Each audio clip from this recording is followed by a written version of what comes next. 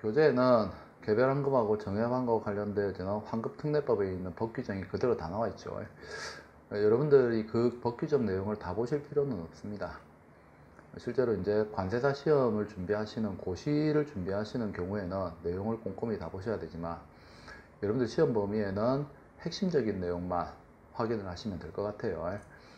그 내용에 보면 표가 있습니다. 그표 내용 그것만 잘 기억을 하셔도 충분히 시험 치는 데는 아무 문제가 없습니다. 그래서 나머지 부분들은 천천히 한번 읽어보시면 될 것 같아요.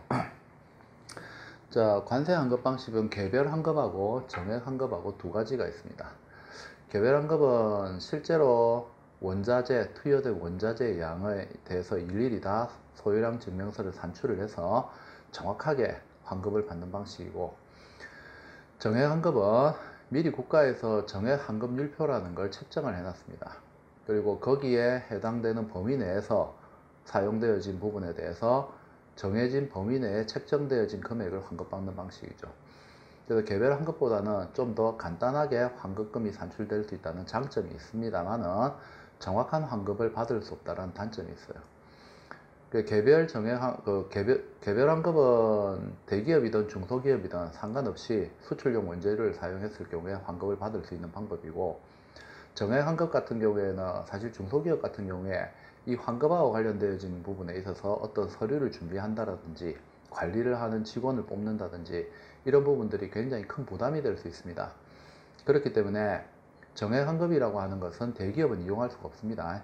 중소기업에 한해서 일정 요건을 갖춘 중소기업에 한해서 이 정액 환급 율표에 기재되어 있는 이 표를 바탕으로 해서 환급을 받을 수 있도록 만들어 놓은 제도입니다.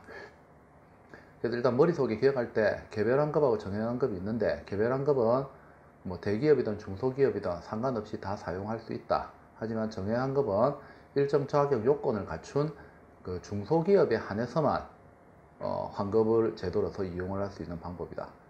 따라서 그 정액 환급 같은 경우에는 대기업은 사용을 할 수가 없습니다. 대기업은 무조건 개별 환급을 해야 됩니다. 자체 인력도 많고 그리고 관리 체계라든지 이런 부분에 대한 여유도 있고 하기 때문에 충분히 어, 본인 스스로 사용한 기업이 사용한 부분에 대해서 정확하게 소유량을 산출해서 환급 신청을 할 수 있다고 보기 때문에 대기업의 경우에는 반드시 개별 환급 제도를 활용을 해야 됩니다. 그래서 개별 환급의 경우에는 필요한 서류가 있어요. 그래서 당해 수출 물품을 제조 생산하는 데 투여되는 원자재의 종류들도 한 개가 아니고 여러 개가 사용 소비될 수가 있습니다. 그리고 각각의 원자재가 얼마만큼 사용됐는지 그걸 소요량이라고 한다고 앞에서 얘기했죠. 이 소요량 증명과 관련되어지는 서류들도 있어야 되고 실제 수출을 했을 경우에 환급 신청을 할 수 있는 거죠. 그래서 수출하고 관련되어지는 증빙 서류들 필요하죠.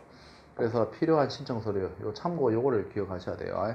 요 법 내용인데 요것을 개별적으로 서류로 풀면 이렇게 되는 겁니다. 시험에서는 서류 종류를 묻게 돼요. 그래서 수출 확인 서류, 납부색 증명, 소량 계산서, 그다음에 조견표, 조견표는 기업에서 많이 사용하는 건데 그 물품하고 관련돼서 어떤 그 제조 생산을 하게 될 경우에 여러 가지 운임이라든지 임금 이런 것들도 발생합니다. 이것도 다 비용이죠. 이와 관련되어지는 내용이 얼마나 들어갔는지 확인하는 서류가 조건표예요. 그래서 밑에 각주에 보면은 가격이나 운임 수당 등에 대해서 한눈에 볼 수 있도록 정리한 표로서 실무에서 제조 생산 공장에서 흔하게 사용되는 겁니다. 조건표라는 거. 자재 명세서 흔히 BOM이라고 부르죠. Bill of Material이라고 부릅니다. 자재 명세서는 하나의 물품을 제조 생산하는 데 투여되는 원자재, 그 다음에 그리고 반제품 이런 것들이 몇 개가 투여됐는지를 표시한 하나의 표 모양으로 그림 모양으로 도형 모양으로 표현한 그, 그 한눈에 확인할 수 있도록 제조 생산국에서 사용하는 표가 있어요. 그걸 이제 자재 명세서랍니다. 이와 관련되어지는 것들이 실제로 어떤 원자재를 사용했는지 한눈에 볼 수 있기 때문에 이거는 반드시 이제 그 개별 환급의 경우에 관할 대가장에 제출해야 되는 서류입니다. 이 서류 잘 기억하셔야 됩니다.